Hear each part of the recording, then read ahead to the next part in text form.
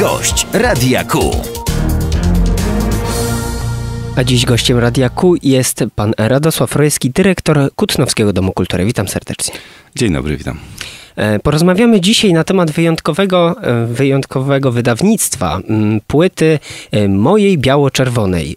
Czy mógłby pan coś powiedzieć więcej na ten temat, bo tu jest 10 piosenek patriotycznych. Tak, nie tylko piosenki. Jest to projekt, który wspólnie z Muzeum Regionalnym w Kutnie zrealizowaliśmy w ramach obchodów stulecia niepodległości Polski. E, Pomysł był taki, że po pierwsze w jakiś sposób uhonorujemy chór, który już śpiewa od 10 lat. To jest chór złożony z uczniów szkół kutnowskich. E, A po drugie, w tej publikacji chcieliśmy, żeby znalazła się też e, chociażby krótka historia o tym, jak to Kutno przeżywało to odzyskanie niepodległości. I to nam się udało i efekt naszej pracy w tej chwili można już słuchać i czytać. Kto tu śpiewa na tej płycie? E, Na płycie śpiewa ponad setka dzieciaków ze szkół kutnowskich, jak również e, sekcja wokalna Młodzieżowego Domu Kultury, no i dwóch naszych, dwoje naszych absolwentów, Michał Dudkowski i Paulina Wróblewska, którzy no obecnie już są profesjonalistami i śpiewają na profesjonalnych scenach w Polsce. E, Chór obchodzi w tym roku 10 Dziesięciolecie, tak. Pierwszy raz wystąpił w 2008 roku, dokładnie 8 listopada w Kutnowskim Domu Kultury. E, Też to był taki pierwszy koncert pieśni patriotycznych w takim dużym wykonaniu. Następnie 11 brał udział w uroczystym odsłonięciu pomnika Józefa Piłsudskiego na, na placu Piłsudskiego. Y, Oprócz płyty y, z muzyką jest też y, książeczka. Co Tak. w tej książeczce jest zawarte? Co możemy Tak jak już przeczytać? mówiłem, jest ten rys historyczny, jak to Kutno odzyskiwało niepodległość.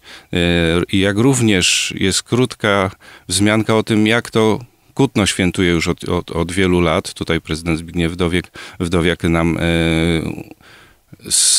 opowiedział, jak te zmiany wyglądały przez ostatnie lata i jak w tej chwili Kutno świętuje jak chcemy, żeby świętowało. Oprócz tego jest też krótka historia właśnie tego chóru, ponieważ ten chór nie tylko występuje 11 listopada, ale w swojej karierze już miał występy i z Zbigniewem Wodeckim, i z Kasią Kowalską, e, jak również wielki koncert, o ile pamiętam, w 2009 roku, e, świąteczny w hali e, sportowej Szkoły Podstawowej nr 9, gdzie ponad 700 osób wysłuchało ich śpiewu. Czy są jeszcze jakieś planowane występy w niedługim czasie, żeby, żebyśmy mogli ich posłuchać na żywo? E, No na dzień dzisiejszy nie będę jeszcze zdradzał i są, są takie plany. Na pewno będziemy chcieli, żeby, e, żeby to kontynuować, bo naprawdę dzieciaki śpiewają rewelacyjnie i mam nadzieję, że już w styczniu uda się też w jakiś większy koncert ich włączyć. Płyta będzie też dostępna w, w, kasie, w kasach Kutnowskiego Domu Kultury w cenie 20 zł, także jeżeli ktoś będzie chciał nabyć, to zachęcamy, zwłaszcza tak jak mówię, że można się zapoznać z historią Kutna, jak odzyskywaliśmy niepodległość i też można wtedy dowiedzieć się, dlaczego tak dużo grobów jest z roku 20 na naszym cmentarzu. E, Myślę, że, że, że to też jest duża wartość tej publikacji. Tak, y, mieszkańcy Kutna będą mogli bliżej poznać też historię miasta, bo to było dosyć miasto żydowskie, jakby nie patrzeć. Dokładnie tak, natomiast y, bardzo dużo tych wydarzeń związanych z odzyskaniem niepodległości działo się w Kutnie i to takich bardzo istotnych i bardzo ważnych i mnóstwo mieszkańców Kutna e, brało udział w Bitwie Warszawskiej, bo my mówimy tutaj tylko o tym roku 18, ale tak naprawdę przecież odzyskiwanie niepodległości trwało wiele lat. To nie był jeden dzień, w którym już byliśmy wolni, tylko trzeba było o tą wolność walczyć.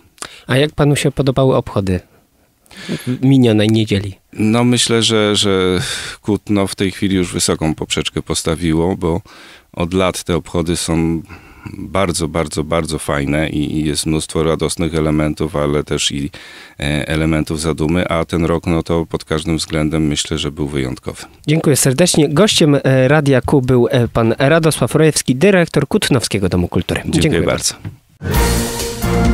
Gość Radia Q.